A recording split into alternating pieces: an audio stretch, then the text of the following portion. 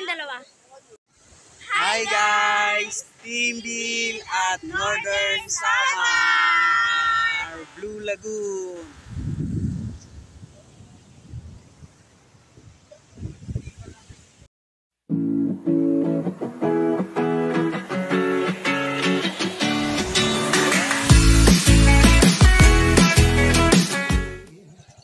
So ayun mga guys, nandito ngayon tayo sa Northern Samar. Dito sa bayan ng Mapul. Nandito tayo ngayon sa isang spot. Then pupunta tayo dun sa ah, Blue Lagoon. Doon yung part na yun, doon, doon, doon tayo pupunta sa Blue Lagoon. Blue Lagoon, doon, doon, doon, doon, yun, doon.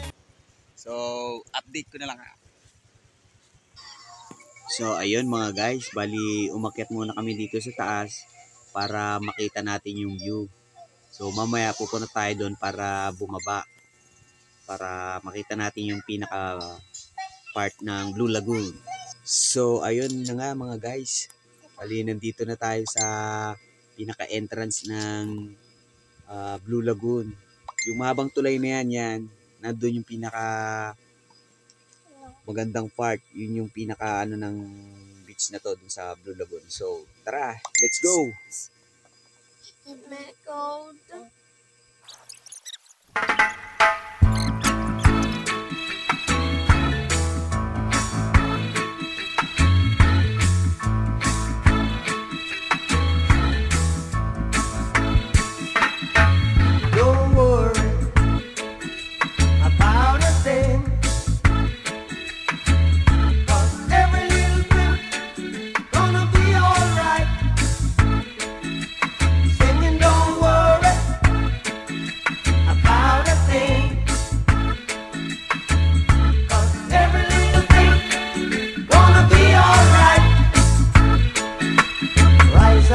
morning.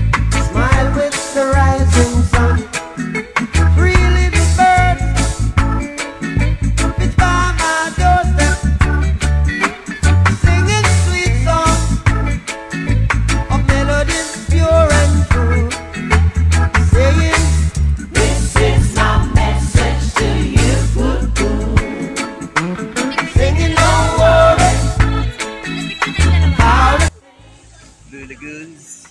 Napakaganda dito mga guys. Sobrang gaganda ng mga view dito. Lalo na yung Blue Lagoon Blue. Medyo malalim. Malalim talaga. Hindi lang talaga malalim. As in malalim. Pero kalma yung tubig. Kasi napapaligyan, napapaligyan siya guys. Lagoon talaga siya na ano. na pumapasok na tubig. Ano doon? Doon, doon, doon, doon pag malakas yung alon. Tapos kulog na siya, kulog. Yan, Kulog na yan hanggang doon. Yan, yan, yan, yan, yan, yan. Yan, close na yan. Tapos pwede pa rito mag-fishing activities guys. Ayun mo.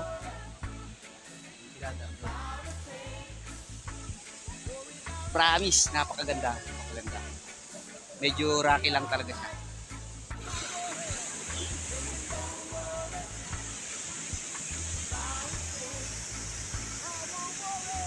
Lakas ng alon mga guys. Kita nyo naman. Oh. Tapos nagbu-blue. Nagbu-blue yung bulak. Ayan na! Ayan na!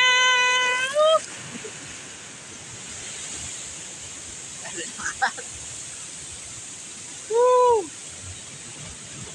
Isa pa, isa!